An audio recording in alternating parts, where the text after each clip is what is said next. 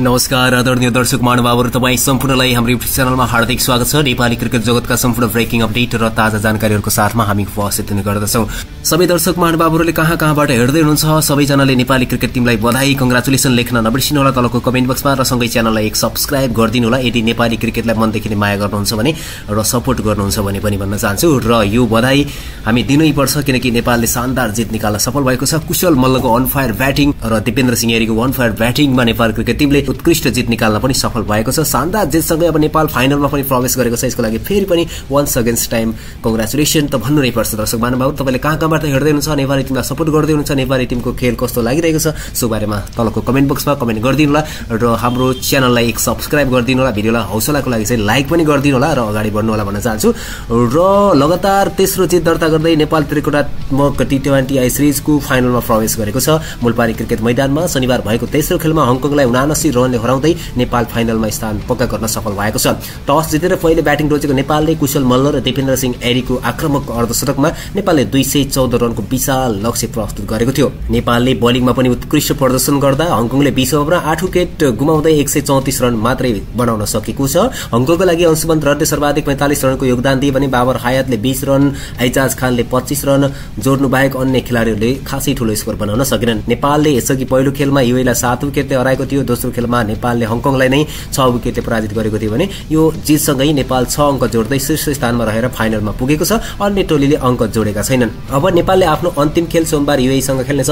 अब युए र हङकङले आइतबार र बुधबार एक आपसमा खेल्नेछन्। फाइनल शुक्रबार हुने पनि तपाईँलाई मैले जानकारी गराउन चाहन्छु र नेपालको बोलिङमा भने करण केसीले इनिङको दोस्रो बलमा नै मार्टिन कोर्चीलाई शून्य रनमा नै बोल आउट गरेका थिए र राम्रो सुरुवात दिलाएको थियो। तेस्रो ओभरमा ललित नारायण राजवंशीले कप्तान निजाकत खानलाई दुई रनमा नै क्याच आउट गराउन सफल भए। त्यसपछि बाबर हायत र अंशुमन रदले पैंतालिस रनको सायदारी गरे पनि टिमलाई जित दिलाउन भने सकेनन्। नेपालको ब्याटिङ लाइनमा भने आज पनि कुशल भोटेल चल्न सकेनन्। उनले दुई रन मात्रै बनाएका थिए भने आसिफ शेखले बिस रन बनाएका थिए। उनले चार चौका प्रहार गरेका थिए। सोमपाल कामी आज तीन नम्बरमा ब्याटिङ गर्न आएका थिए। उनले आठ रन बनाए। रोहित कुमार पौडेलले एघार रन। कुशल मल्लले क्या शानदार ब्याटिङ गरे। उनले एकतालिस बल मात्रै खेलेर बयानब्बे रन बनाउन सफल भएका थिए र एकदमै आक्रमक इनिङ उनी खेलेका थिए र उनले नौवटा छक्का पनि प्रहार गरेका थिए भने तीन चौका प्रहार गरेका थिए भने दिपेन्द्र सिंह एरीको पनि त्यस्तै खालको ब्याटिङ रहेको थियो। चौतिस बलमा उनले सन्ताउन्न रन जोडेका थिए। उनले छ चौका र दुई छक्का प्रहार गरेका थिए। दर्शक महानुभावहरू नेपालको बलिङको कुराकानी गर्नुपर्दा चाहिँ करण केसीले चार ओभरमा एक मेडियन सहित पच्चिस रन खर्चेर दुई विकेट लिए। सोमपाल कामीले तीन ओभरमा चौबिस रन खर्चेर दुई विकेट।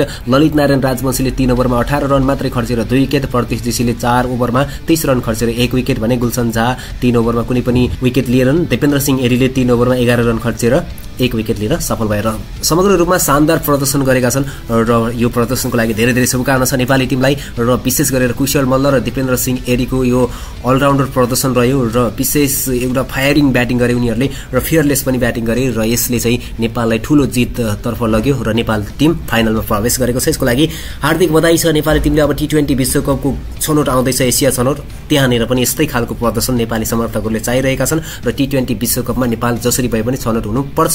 र यी टिमहरू विरुद्ध नै खेल्ने हो नेपालले र यी टिमहरू विरुद्ध उच्च मनोबलको साथ यसरी नै खेल्नेछ। धेरै धेरै बधाई र बेस्ट ब्लग हामी व्यक्त गर्न चाहन्छौँ नेपाली टिमलाई। र च्यानललाई सब्सक्राइब गरिदिनु होला र तपाईँले पनि नेपाली टिमलाई बेस्ट ब्लग टिम नेपाल भनेर लेखिदिनु होला र भिडियोलाई एक लाइक पनि गरिदिनु होला भेट्नेछौँ अर्को भिडियोमा। अहिलेलाई भने बिदा दिनुहोस्। जय नेपाल जय नेपाली क्रिकेट।